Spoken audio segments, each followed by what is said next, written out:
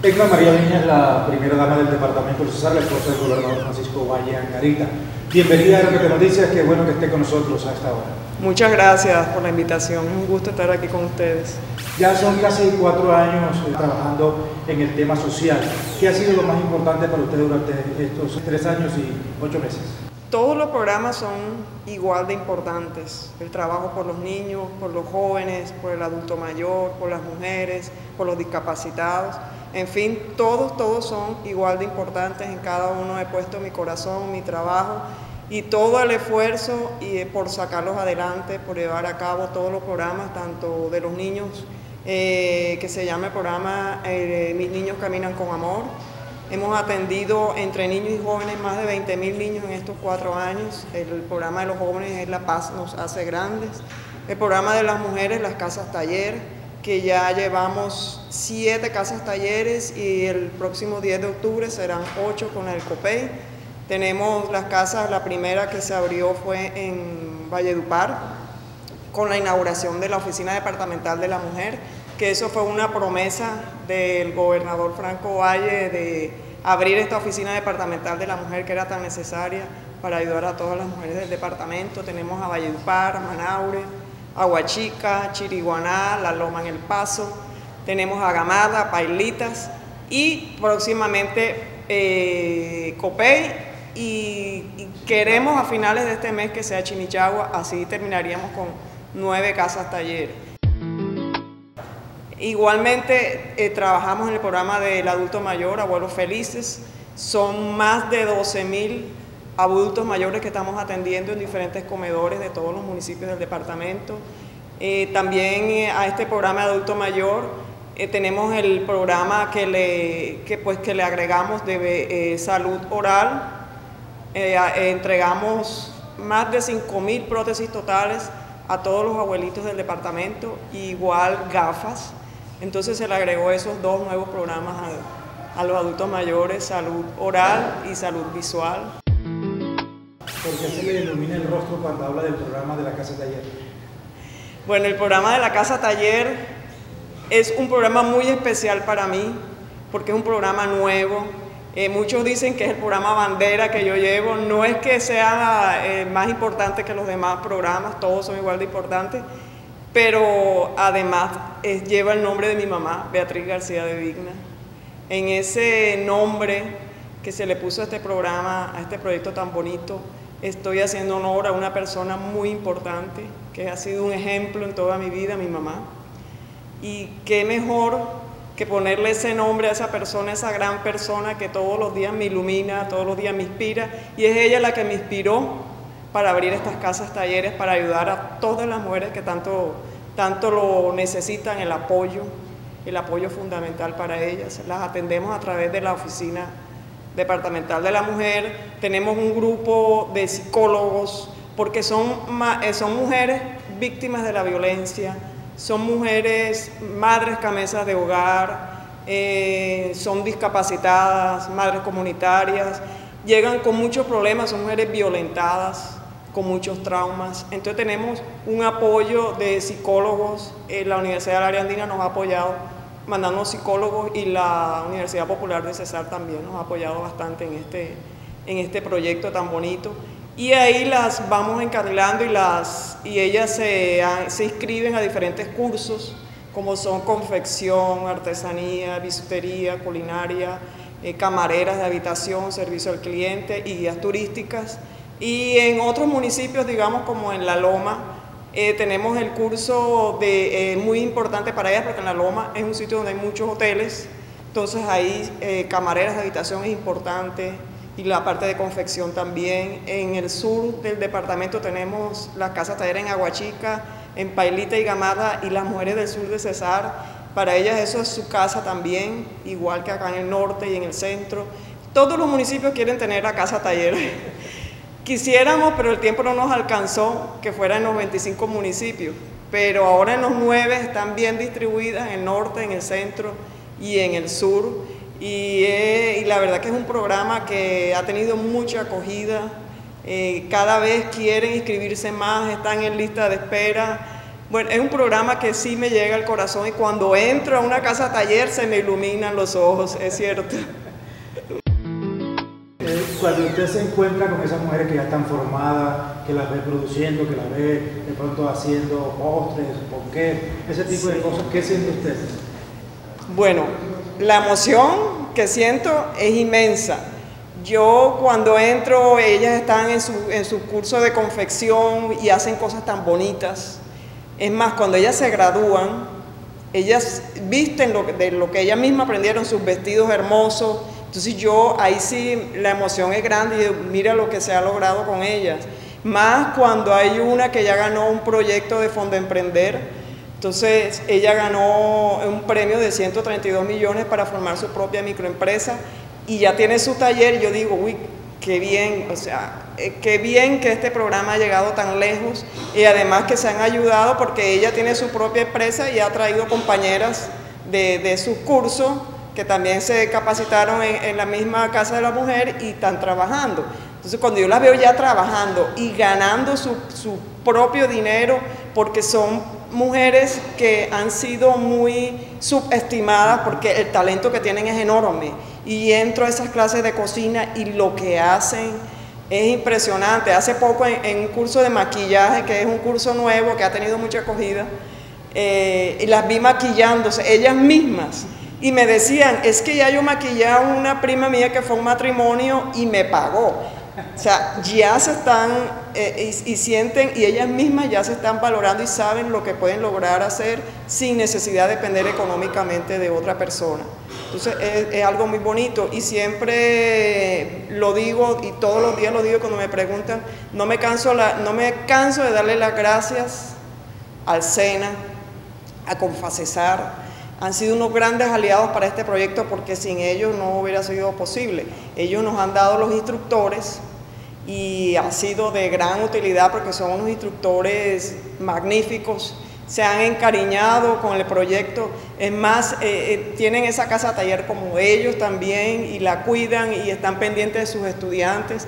Igual y de Cesar. Eh, y de Cesar nos ha apoyado muchísimo porque ellos nos facilitan la parte de crédito para que ellas más adelante puedan hacer su, su, propia microempresa, su idea de negocio, porque también las capacitamos en emprendimiento, la Cámara de Comercio también nos ha ayudado mucho.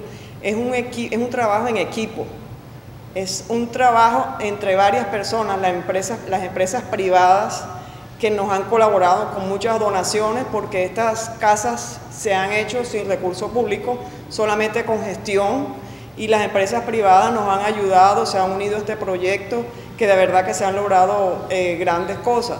En los municipios los alcaldes nos dan los, el, el local y nosotros eh, adecuamos con la dotación y, traemos los instructores y todo lo demás. Hay otro, otro proyecto que me gusta muchísimo que es con los niños que tienen problemas de paladar hendido. Eh, la he visto muy encima de ese proyecto, háblenos de eso. Sí, ese es un proyecto también muy lindo, eh, la necesidad que hay de las cirugías de labio fisurado y paladar hendido en todo el departamento es grande. Eh, hemos contado con el apoyo del doctor Juan José Campanella, cirujano maxilofacial, y ha traído un equipo de especialistas y, el primer ciclo de cirugía se hizo hace dos años en el Hospital San Andrés de Chiriguaná. Operamos alrededor de 80 niños de labio fisurado y paladar hendido eh, y fueron de diferentes municipios, de Codazzi, de Aguachica, de todas, se desplazaron hasta allá a Chiriguaná a hacer las, las operaciones. En esa ocasión fueron 80. El año pasado se hicieron en el hospital de acá de Valledupar, en Rosario Comarejo de López, se operaron otros 80 niños. Hemos operado alrededor de 160 niños de labio fisurado y paladar hendido. Pero son, hay casos diferentes, hay unos que son, que necesitan dos hasta tres cirugías, depende de la lesión y venimos haciéndole esa secuencia y ese manejo. Este año vamos a continuar, ya están inscritos, en el momento vamos a comenzar con 40 niños más. Ahora nos llegó una fundación que viene de Bogotá, que también lleva el mismo programa y se unió a este proyecto. Entonces este año vamos a seguir con las operaciones, que es, es un trabajo bien bonito, que lo necesitan porque son una cirugía que les cambia la vida no solo al niño, sino a todo su núcleo familiar. La gente que está cercana a usted, su familia, incluso el gobernador, cuando, cuando le llama, le dice Ia. ¿De dónde viene Ia? Sí, lo que pasa es que mi nombre es Edna María. Y pequeña yo no alcanzaba a decir sino lo último, ¿cómo te llamas? Ia era lo que me entendía. Entonces así me quedé. las personas más, más la familia, los que me conocen desde pequeñita es que saben de, mi apodo. ¿Cómo han, sido, estos cuatro años de vivir como primera dama, como, como la esposa del gobernador y como la jefa de la casa, cuidando a los niños? ¿Cómo ha sido eso? Bueno, no ha sido fácil. No ha sido fácil porque mi vida antes era diferente, diferentísima. Yo trabajaba en mi, profesión como odontóloga, dejé a un lado mi consultorio porque a ver, yo digo que cuando uno va a hacer algo, lo hace bien, no a medias. Si, voy a trabajar en mi, en mi, profesión, pues me dedico a ella. y si voy a trabajar en la parte social, me dedico tiempo completo, porque entiendo que son 25 municipios, uno viaja constantemente, por eso cambió mucho lo que hacía antes a lo que hago ahora. En cuanto, en cuanto a mi forma, mi actitud, soy más abierta a las personas. Yo era muy introvertida, ahora eh, eh, me abro más a las personas, he visto de cerca las necesidades, las necesidades que son muchas en, los niños, los jóvenes, en los adultos mayores. Y digo que soy más humana, soy más, eh, y le doy las gracias a Dios, siempre lo digo por, darme esta oportunidad de ver la vida de esta manera de, estar de cerca a tantos problemas y de poder tener algún, alguna forma de ayudar a alguien y que la mayor satisfacción es cuando tú ves que pudiste ayudar a una persona. ¿Usted cómo quiere que la recuerden eh, los cesarenses en estos cuatro años que pasó por la gobernación? ¿Qué le gustaría que le recordaran a usted, que la viesen dentro de dos, tres, cuatro años y dieran, usted la recuerdo por esto? ¿Cuál sería ese recuerdo que le gustaría llevarse? Eh, quisiera que siempre se acordaran de mí como una persona que alguna vez le tendió la mano, que si no tuve, es difícil poder complacer y solucionar tantos problemas, pero si de alguna forma lo pude hacer, que me recuerden por, por esa persona y que me tengan como una amiga y que no solo ahora, sino para siempre a mí, en mí tendrán a una amiga y a una persona que, que si en alguna forma puedo ayudar, ahí estoy. Quizás que es como la cara feliz del gobierno. ¿Sí ha sido feliz en estos cuatro años? Sí, siempre, siempre he sonreído y a veces me dicen, pero tú sonríes bastante. Lo que pasa es que sonreír eh, es gratificante para el ser humano o que una persona se te acerque y tú le regales una sonrisa eh, siempre, siempre hay que demostrar esa felicidad para ser más agradable a los demás.